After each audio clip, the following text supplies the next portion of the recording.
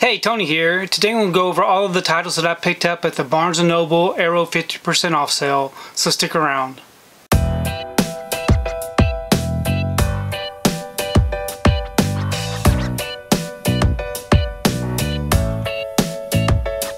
So this was the first time that I had ever participated in the Arrow 50% off sale at Barnes & Noble. Typically I just do the Criterion sale, um, but this time they had some really good titles that I really wanted to add to the collection. So I thought I would just go ahead and order from them, save some money. And so today I'm just going to go over those titles that I picked up. Um, these are not in any kind of order. They were shipped out um, by release date um, based off of what was being released throughout the month. Some of these were released in August and then the others in September. So, and I'm not going to open up these, I'm just going to kind of show you the titles.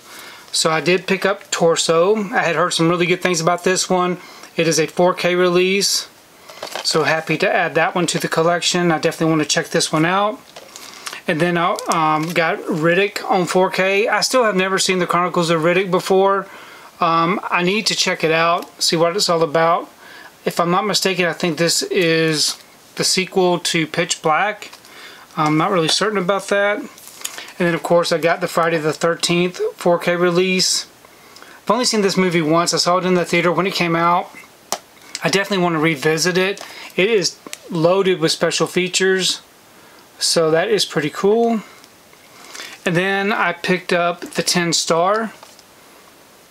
Um, this one um, is a Western. I wasn't really familiar with it, but I did have some reward cash to use. I used some of that on this one, and then also I used the rest on this one. Um, Mute Witness is another one that I've been hearing some good things about, so I wanted to check it out and pick it up. Okay, next up I picked up The Man from U.N.C.L.E. 4K release. I still have never seen this film before. I need to check it out. I've heard some good things about it, um, but not much about, not much, but I have heard some good things.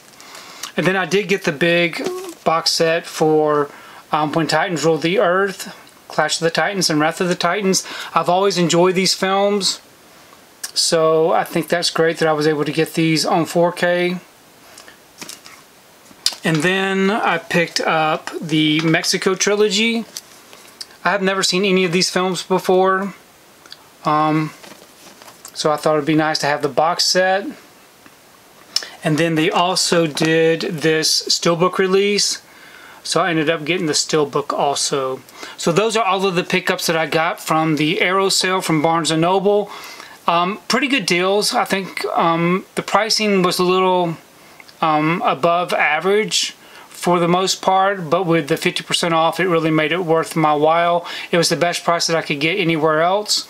Now, I do have a link down below um, where you can use the code BASEMENT on the Arrow website and you can save an additional 10% off of these titles. So I'll have all of these listed down below um, if you would like to purchase those directly from the Arrow site once this sale is over with. Please leave me a comment below. Let me know if you were able to participate in the Arrow sale from Barnes & Noble and what titles you were able to pick up. And also give me some recommendations of other titles that you think I should check out because I really do enjoy reading your comments. But thanks a lot for watching this video and we will see you next time.